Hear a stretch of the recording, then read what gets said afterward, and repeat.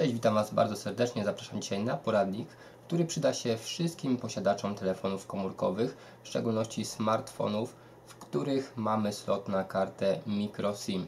Pokażę Wam tutaj, jak w kilku prostych krokach przyciąć kartę z formatu mini SIM, czyli takiej klasycznej, mowa tutaj o tym rozmiarze, do formatu microSIM, który stosowany jest już w wielu smartfonach.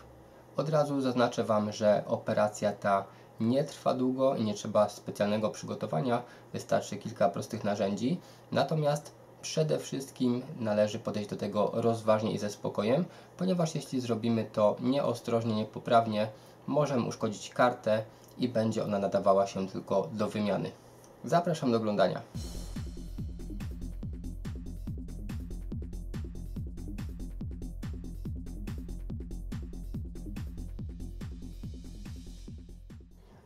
Drodzy, więc o co chodzi? W większości smartfonów stosowane są nadal karty typu mini SIM, format mini SIM, taki najbardziej jeszcze w tej chwili popularny rozmiar karty, która wygląda tak. Natomiast niektóre smartfony, w tym chociażby Nokia Lumia 630 i inne, mają już, jak widzicie, dużo, dużo mniejsze miejsce na samą kartę SIM i taka karta nigdy w życiu nam nie wejdzie. Trzeba ją po prostu dociąć do takiego rozmiaru. I zaraz Wam pokażę dokładnie jak to zrobić i czego będziecie potrzebować. Kartę z takiej na taką można też wymienić praktycznie w każdym salonie swojego operatora. Jednak raz, że musimy się tam udać, dwa, że kosztuje to od kilkunastu do kilkudziesięciu e, złotych w zależności od operatora. Tak więc jakiś problem to jest. Natomiast, żeby sobie samemu kartę przyciąć, Jedne, co trzeba pamiętać, to aby być dokładnym i precyzyjnym, wtedy na pewno nam się uda. Więc moi drodzy, co nam będzie potrzebne? W internecie możemy znaleźć sobie wymiary takich kart dokładne i samemu jakby zrobić szablon, ale możemy też znaleźć gotowe szablony, które wyglądają chociażby tak. Wystarczy wpisać chociażby szablon microSIM i powinno Wam wyskoczyć coś takiego. Pamiętajcie, żeby wydrukować to w skali 1 do 1, inaczej wymiary nie będą się zgadzać. Najlepiej sobie później wziąć jeszcze po wydrukowaniu kartę i przyłożyć, czy to faktycznie jest ten wymiar. Jeśli wydrukujecie niepoprawnie, to na przykład może Wam wyjść coś takiego, czyli za duży szablon. Dlatego ja po wydrukowaniu polecam sobie przymierzyć. Tak więc Pierwsza rzecz, najważniejsza, szablon z dokładnym wymiarem tej karty. Druga rzecz, która się przyda, taśma dwustronna, aby przykleić sobie tą kartę do tego szablonu, tak żeby nam się po prostu nie przemieszczała. Jakaś linijka oraz pisak, najlepiej cienki, czarny, taki do płyt, żeby nie robić zbyt grubej kreski, którym sobie odrysujemy na naszej karcie linię cięcia. Następnie do cięcia ostre nożyczki lub nóż do tapet, co kto woli. I na koniec przyda się jakikolwiek pilniczek do paznokci lub coś podobnego, żeby sobie wyrównać tą kartę, dotuningować do końca. Tak więc zaczynamy. Ok, przycinamy sobie pasek taśmy dwustronnej. Staramy się, żeby nie był większy niż sama karta, ponieważ może nam to przeszkadzać w cięciu.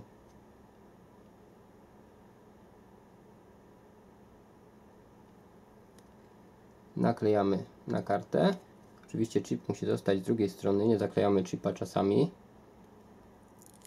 Odklejamy i teraz, moi drodzy, staramy się jak najrówniej nakleić tą kartę na ten nasz szablon. Jeśli by nam nie wyszło, to najlepiej zerwać i przymierzyć jeszcze raz. Ok, myślę, że będzie w miarę dobrze. Teraz co należy zrobić? musimy sobie tą kartę ściąć i to praktycznie z każdego boku. Tutaj od góry, długie krawędzie oraz po skosie, a następnie będziemy jeszcze jeden mały element docinać. Na razie musimy sobie obrysować całą kartę. Starajmy się przykładać równo z linią, ponieważ lepiej ściąć troszeczkę mniej tej karty niż za dużo i sobie to potem stuningować e, na przykład tym pilniczkiem, niż właśnie przesadzić, bo jeśli zetniemy za dużo, to już nic z tym nie zrobimy i karta może się odpowiednio nie trzymać w naszym telefonie. Tak więc ciąć będziemy po liniach, ale raczej po zewnętrznej części. Tak więc staramy się tak, żeby e, to nasze odrysowanie stworzyło jedną linię z tym szablonem.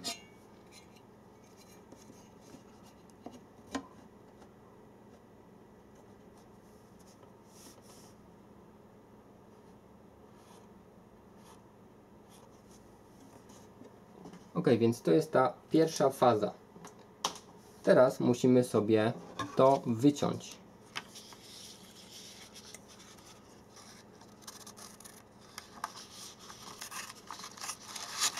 Żeby było nam łatwiej, możemy sobie troszkę tej kartki ściąć, żeby nie przeszkadzała.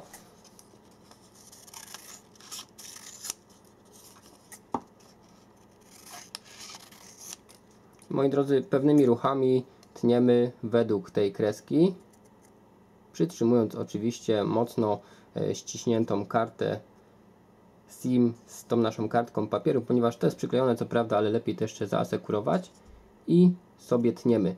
Ta karta jest dość twarda, ale dobre nożyczki sobie z tym radzą. Jak widzicie udało mi się uciąć w miarę równo. Teraz bierzemy się za pozostałe krawędzi.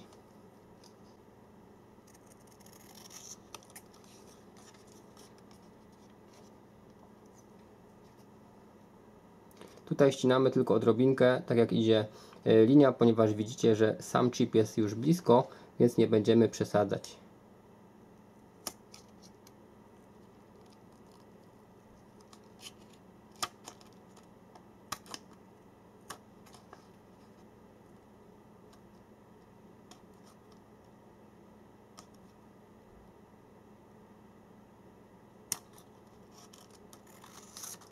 Teraz tył. Tutaj mamy troszeczkę więcej zapasu, więc możemy sobie porządnie te nożyczki przyłożyć i wykonać jedno cięcie.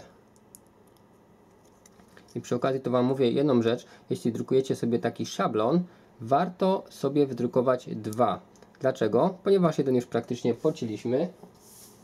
Natomiast żeby stuningować kartę do końca, przyda nam się jeszcze drugi szablonik, gdzie mamy też takie dokładne ścięcie. Ok, i ostatni brzeg.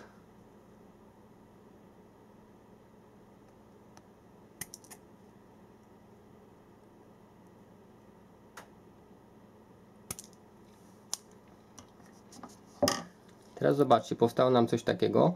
Możemy już odkleić sobie tą kartkę z taśmą dwustronną, ponieważ nie jest to nam już w tej chwili do niczego potrzebne ta kartka jest przyszłością, a jeśli zapomnimy o tym, to po prostu nie wciśniemy karty do slotu, bo będzie zbyt gruba.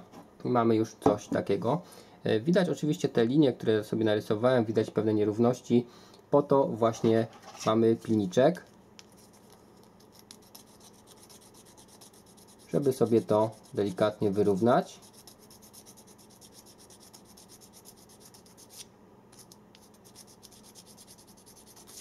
Zobaczcie, już mamy prawie równo z kreską, garb zniknął, tak więc tym sposobem będziemy sobie kartę e, dotuningowywać. A tutaj teraz jak przyłożymy, widzimy, że zostało nam jeszcze jedno cięcie. Tak więc ponawiamy proces. Jeśli chcecie, możecie sobie tą kartę jeszcze raz przykleić albo po prostu dokładnie przyłożyć i zrobić kreseczkę.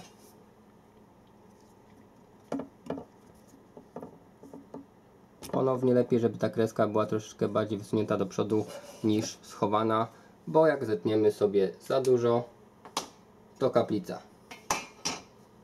I mniej więcej widzimy, że wszystko pasuje do naszego wzorca. Teraz pozostaje jeszcze ściąć ten kawałek i wszystko wyrównać.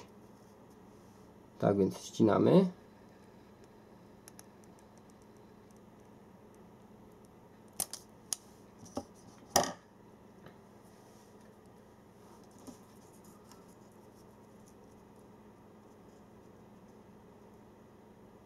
No i widzimy, że kształt już plus minus oscyluje e, w tym naszym szablonie, natomiast trzeba jeszcze sporo tutaj e, doszlifować. Widzę, że dół mam tutaj sporo za duży, więc ja sobie to teraz przyszlifuję i za chwilkę do Was wracam. Po skończonym szlifowaniu lepiej kartę oczyścić, chociażby ją przetrzeć papierkiem lekko zwilżonym albo, albo po prostu odmuchać. Mniej więcej ta karta pasuje, teraz najlepiej już sobie przymierzać do samego telefonu. Jeśli się okazuje, że nie wchodzi, trzeba ją jeszcze troszeczkę tuningować. Ok, w tym przypadku jest jeszcze za gruba, tak więc trzeba ją jeszcze spiłować. Ok, kolejna przymiarka, karta już początkiem weszła, natomiast widać, że jeszcze jest za gruba, bo nie chce wejść dalej. Tak więc teraz już e, delikatnie, bez przesady sobie ją piłujemy. No i próbujemy po raz kolejny. Ok. I proszę bardzo, karta weszła do końca. Teraz jeszcze trzeba sprawdzić, czy czasem nie mamy troszeczkę za dużo z tyłu, czy będzie haczyło o baterię. A więc tak, przyda się jeszcze troszeczkę tył oszlifować, bo bateria haczy. Ponowna przymiarka karty.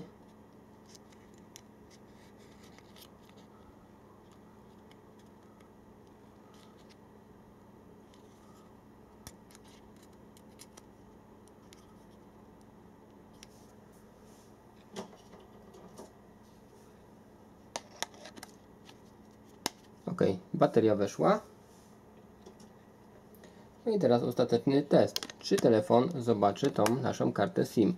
Tak więc pozostaje włączyć i chwilę poczekać.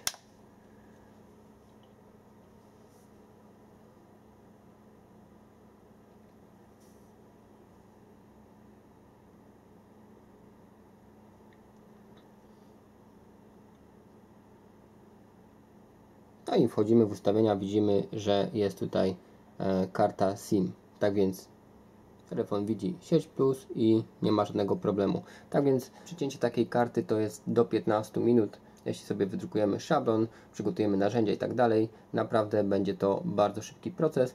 Zaoszczędzimy od parunastu do kilkudziesięciu złotych, no i też zaoszczędzimy sobie wycieczki do salonu. Ale jeszcze raz na koniec powtarzam, robicie to na własną odpowiedzialność, żeby była gwarancja, że to się uda. Trzeba przygotować się dobrze i zrobić to starannie. No i przede wszystkim najważniejsze, nie uszkodzić chipa w trakcie przycinania. Dziękuję Wam dzisiaj za obejrzenie tego poradnika. Mam nadzieję, że Wam się przydał. Jeśli tak, zostawcie łapkę w górę, zasubskrybujcie kanał. No i to by było na tyle. Pozdrawiam Was, cześć!